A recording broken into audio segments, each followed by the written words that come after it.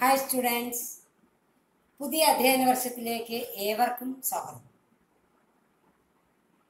പത്താം ക്ലാസ്സിലെ ഗണിത പാഠഭാഗമാണ് ഇന്നത്തെ ക്ലാസ്സിൽ നാം ചർച്ച ചെയ്യുന്നത്.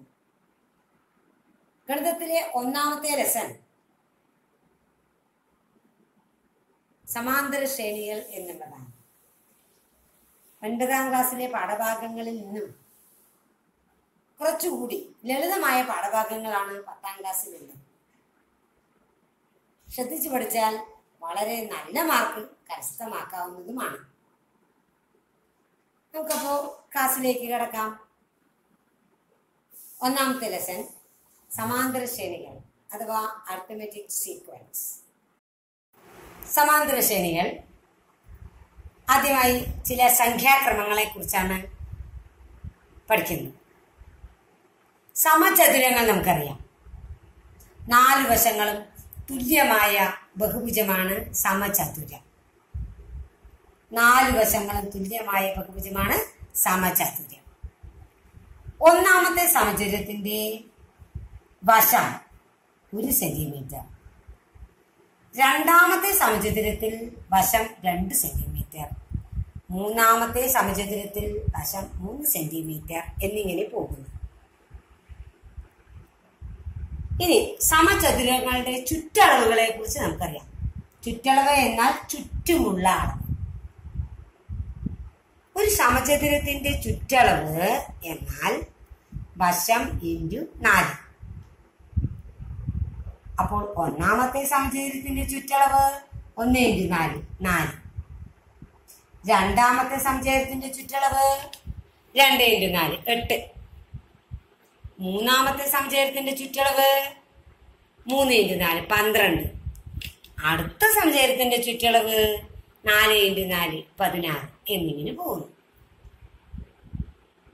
സമചതുരത്തിന്റെ പരപ്പളവ് നമുക്കറിയാം. ഒരു സമചതുരത്തിന്റെ പരപ്പളവ് വശം ഇന്റു വശം. അപ്പോൾ ഒന്നാമത്തെ സമചേരത്തിന്റെ പരപ്പളവ് ഒന്ന് ഇന്റു ഒന്ന് ഒന്ന്. രണ്ടാമത്തെ സഞ്ചയത്തിന്റെ പരപ്പളവ് രണ്ട് ഇന്റു രണ്ട്. നാല്. മൂന്നാമത്തെ സഞ്ചയത്തിന്റെ പരപ്പളവ് മൂന്ന് ഇന്റു മൂന്ന് ഒമ്പത്. നാലാമത്തേതിന്റെ നാല് ഇന്റു നാല് പതിനാറ്. അഞ്ചാമത്തെ സഞ്ചയത്തിന്റെത് വശം അഞ്ചായതിനാൽ അഞ്ച് ഇന്റു അഞ്ച് ഇരുപത്തഞ്ച് എന്നിങ്ങനെ പോകുന്നു. ഇനി സമചതുരങ്ങളുടെ വികരണങ്ങളെ കുറിച്ച് പഠിക്കാം. വികരണം എന്നാൽ കോണോട് കോണം യോജിപ്പിക്കുന്നവരെയാണ് വികരണം. ഒന്നാമത്തെ സംചയത്തിന്റെ വശം ഒന്നായ സംചയത്തിന്റെ വികരണം ഒന്ന് റൂട്ട് രണ്ട്. വശം രണ്ടായ സംചയത്തിന്റെ വികരണം രണ്ട് റൂട്ട് രണ്ട്. വശം മൂന്നായ സംചയത്തിന്റെ വികരണം മൂന്ന് റൂട്ട് രണ്ട്. വശം നാലാകുമ്പോൾ വികരണം നാല് റൂട്ട് രണ്ട്. വശം അഞ്ചായാൽ അഞ്ച് റൂട്ട് രണ്ട്. ഇങ്ങനെ പോകും. ഇവിടെ വശങ്ങളെ കുറിച്ച് വീണ്ടും നമുക്ക് സമചരിതത്തിന്റെ വശങ്ങളിലോട്ട് പോകാം. ഒന്നാമത്തെ സമചരിതത്തിന്റെ വശം ഒന്ന്. രണ്ടാമത്തേതിൽ വശം രണ്ട് മൂന്ന് നാല് ഈ ക്രമത്തിൽ പോകുന്നു. അപ്പൊ അടുത്തത് നമുക്കറിയാം. അടുത്ത സമചയത്തിന്റെ വശം അഞ്ച്. ആറ്. ഏഴ്. ഈ ക്രമത്തിൽ പോകുന്നു. അപ്പൊ വശങ്ങളുടെ ക്രമം. സമചതുരത്തിന്റെ വശങ്ങളുടെ ക്രമം.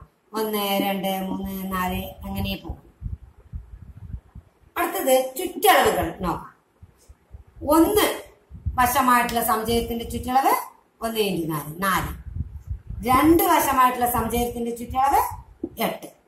വശം മൂന്നാകുമ്പോൾ വശം മൂന്ന് സെന്റിമീറ്റർ ആകുമ്പോൾ ചുറ്റളവ് മൂന്ന് ഇന്റു നാല് പന്ത്രണ്ട്.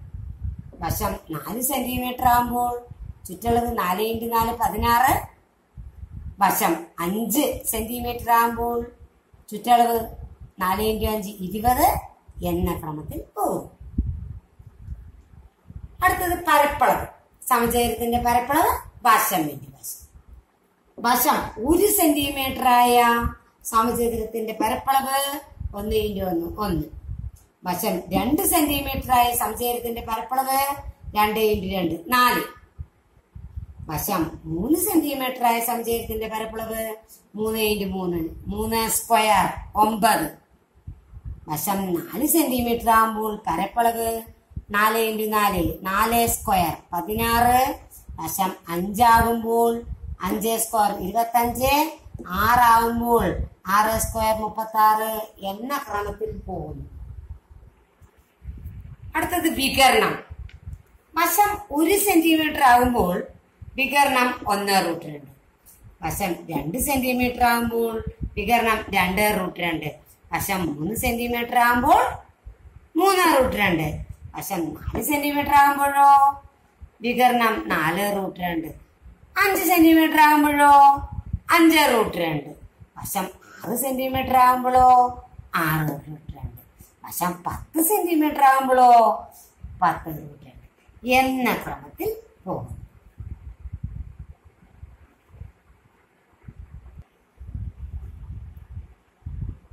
ഇവിടെ വശത്തെ സൂചിപ്പിക്കുന്ന സംഖ്യാക്രമങ്ങൾ നമുക്ക് നോക്കാം.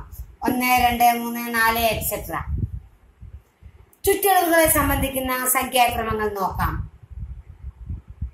നാല് എട്ട് പന്ത്രണ്ട് പതിനാറ് എക്സെട്ര പരപ്പളവുകളെ സംബന്ധിക്കുന്ന സംഖ്യാക്രമം ഒന്ന് നാല് ഒമ്പത് പതിനാറ് എക്സെട്ര വികരണത്തെ സംബന്ധിക്കുന്ന സംഖ്യാക്രമമാണ് ഒന്ന് റൂട്ട് രണ്ട് രണ്ട് റൂട്ട് രണ്ട് മൂന്ന് റൂട്ട് രണ്ട് നാല് റൂട്ട് രണ്ട് ഇങ്ങനെ.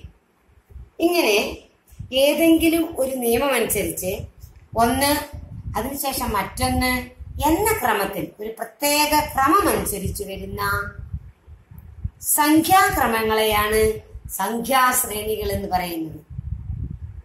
ഏതെങ്കിലും ഒരു പ്രത്യേക നിയമമനുസരിച്ച് എഴുതുന്ന സംഖ്യാക്രമങ്ങളാണ് സംഖ്യാശ്രേണികൾ. ഇവിടെ സമചതുരത്തിന്റെ വശങ്ങളുടെ നീളങ്ങൾ സംഖ്യാക്രമത്തിലാണ്. ചുറ്റളവുകൾ ഒരു സംഖ്യാക്രമത്തിലാണ്. നാല് എട്ട് പന്ത്രണ്ട് പതിനാറ്. പരപ്പളവുകൾ. പരപ്പളവുകളെ സൂചിപ്പിക്കുന്ന സംഖ്യാക്രമങ്ങൾ സംഖ്യാശ്രേണിയിലാണ്. വികരണങ്ങളെ സൂചിപ്പിക്കുന്ന സംഖ്യാക്രമങ്ങളും സംഖ്യാശ്രേണിയിലാണ്. ഇനി അടുത്തതായി സമചതുരങ്ങളുടെ വശങ്ങൾ ഭിന്നസംഖ്യാ രൂപത്തിലായാലോ ചുറ്റളവും പരപ്പളവും വികരണവും നമ്മൾ എങ്ങനെയാണ് കണ്ടുപിടിക്കുക എന്ന് നോക്കാം. ഒന്നാമത്തെ സമചതുരത്തിലെ വശം ഒരു സെന്റിമീറ്റർ ആണ്. അതുകൊണ്ട് ചുറ്റളവ് ഒന്ന് ഇന്റു നാല് നാല്. ഈ ഒന്നാമത്തെ സമചതുരത്തിന്റെ പരപ്പളവ് ഒന്ന് ഇന്റു ഒന്ന് ഒന്ന്. ഒന്നാമത്തെ സമചതുരത്തിന്റെ വികരണം ഒന്ന് റൂട്ട് രണ്ട്. രണ്ടാമത്തെ സമചതുരത്തിൽ വശം ഒന്നര. ഒന്നര എന്നാൽ വിഷമഭിന്നമായി മൂന്ന് ബൈ രണ്ട് എന്ന് പറയാം. അതുകൊണ്ട് ഈ രണ്ടാമത്തെ സമചതുരത്തിന്റെ പരപ്പളവ്. മൂന്ന് ബൈ രണ്ട് ഇന്റു നാല്. വശം ഇന്റു നാല്. മൂന്ന് ബൈ രണ്ട് ഇന്റു നാല്. പിടിച്ചെടുക്കുമ്പോൾ ആറ് എന്ന് കിട്ടുന്നു. ഒന്ന് ബൈ ഒന്ന് ഒന്ന് ബൈ രണ്ട് വശമായിട്ടുള്ള സമചതുരത്തിന്റെ പരപ്പളവ്. വശം ഇന്റു വശം. ഒന്നര ഇന്റു ഒന്നര. രണ്ടേ കാൽ. വികരണം. മൂന്ന് ബൈ രണ്ട് റൂട്ട് രണ്ട്. കാരണം ഒന്ന് ഒന്ന് ബൈ രണ്ടിന് വിഷമമിനുമായി മൂന്ന് ബൈ രണ്ട് എന്ന് എഴുതാം. സമചതുരത്തിന്റെ വശം ഏതായാലും വികരണം എന്നത് വശം ഇന്റു റൂട്ട് രണ്ട്. മൂന്നാമത്തെ സമചതുരത്തിന്റെ വശം രണ്ട്. അതിന്റെ വികരണം അതിന്റെ ചുറ്റളവ് രണ്ട് ഇന്റു നാല് എട്ട്. പരപ്പളവ് രണ്ട് ഇന്റു രണ്ട് നാല്. വികരണം രണ്ട് റൂട്ട് രണ്ട്. അടുത്ത സമചതുരത്തിന്റെ വശം. രണ്ട് ഒന്ന് ബൈ രണ്ട്. ചുറ്റളവ്. രണ്ട് ഒന്ന് ബൈ രണ്ട് അഥവാ അഞ്ച് ബൈ രണ്ട്. രണ്ട് ഇന്റു രണ്ട് നാല്. നാല് പ്ലസ് ഒന്ന് അഞ്ച്. അഞ്ച് ബൈ രണ്ട്. അഞ്ച് ബൈ രണ്ട് ഇന്റു നാല്. പിടിച്ചിരിക്കുമ്പോൾ പത്ത് എന്ന് കൂട്ടുന്നു.